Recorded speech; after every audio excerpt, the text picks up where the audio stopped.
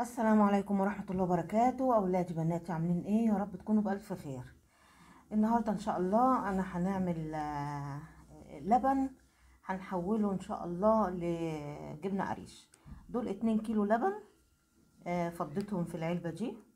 هنسيبهم كده أربعة وعشرين ساعة إن شاء الله في مكان يعني كده يكون آمن آه، ما تطلهوش إيد عشان ما يتهزش والكلام ده هو.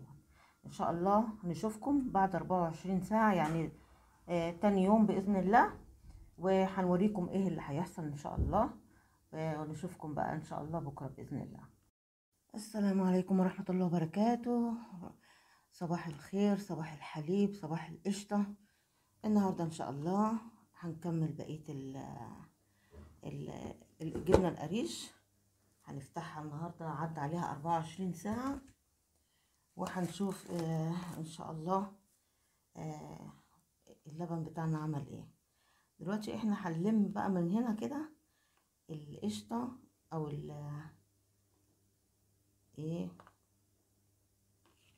اسمها الكريمة اللباني اللي ظهرت فوق الوش دي. ما شاء الله.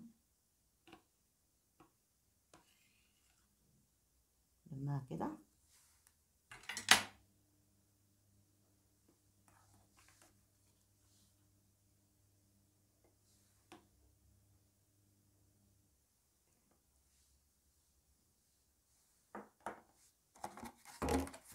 Ahorra.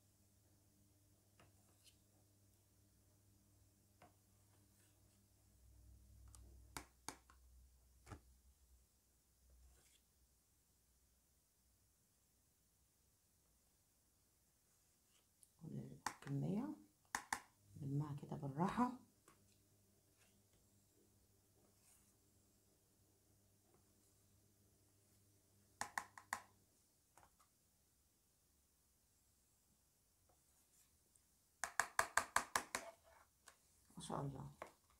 طلعت الكمية الحلوة دي. معقولة يعني شوية. الحمد لله.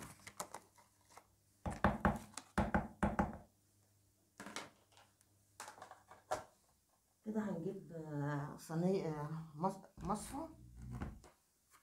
مصفى. وحاطة تحتها بولة علشان هنصفي ال- اللبن ده.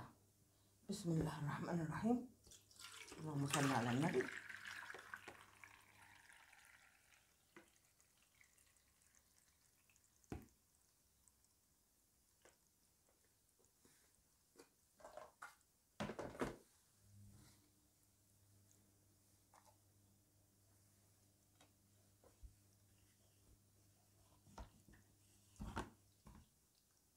هنلمها كده.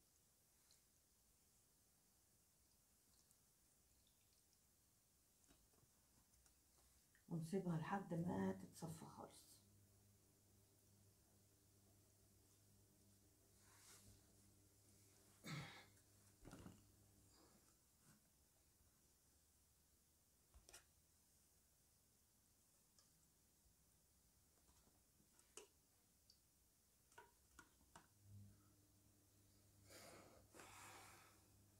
وهنسيبها كده لمدة ساعتين يا جماعة وهنرجع لكم.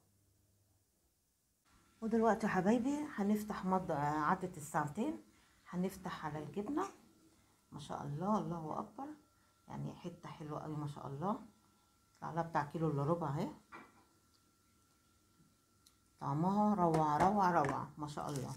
دلوقتي أنا هنحطها في العلبة دي وأدخلها التلاجة إن شاء الله.